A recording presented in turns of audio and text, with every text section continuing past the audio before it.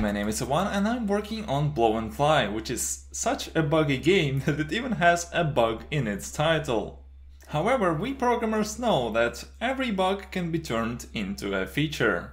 In order to do that, we need to pretend that this is the way it's supposed to work and to teach our users how to cope with it.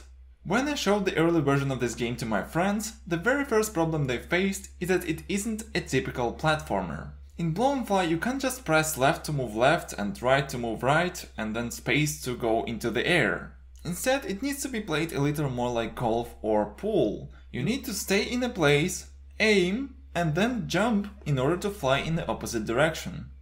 With that in mind, I made a tutorial sign which imitates the intended way to play this game. Someone wise once said that a picture is worth a thousand words, so I think that this visual representation is much better than typing everything I've just mentioned in the form of text. The next thing I thought I had to teach the players is relying on physics. I made a level which is probably impossible to beat unless you understand that you need to roll backwards in order for the fish to stop. It's probably a little too hard for where it is in the game, but unless you understand this fundamental concept, you will have huge problems in the rest of the game. After that, I looked at some mobile games which use a similar launchable mechanic and tried to figure out what do they teach their players. And the very first thing that catches the eye is the trajectory of a projectile you're about to launch.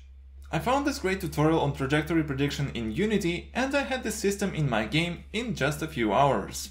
However, something felt wrong. I thought that maybe it was the visuals, so I went through a few different options, but it still didn't feel right. I realized that this isn't what Blow and Fly is all about. It's about experimentation, it's about bouncing off the walls and just seeing what happens. Being able to know where exactly you will land just took all the fun out of it.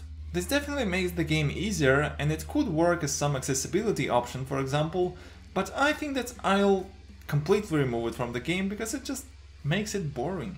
And the reason that allowed me to ditch this new system so easily is that there is already a better system in the game. It's the Ghostfish that I mentioned in one of the earlier devlogs.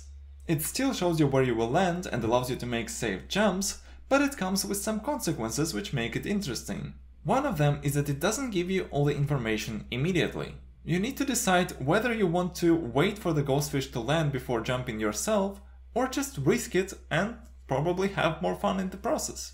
And another one is that it doesn't work in every scenario. For instance, there are many mid-air jumps where you need to react quickly and the Ghostfish just won't be able to help you.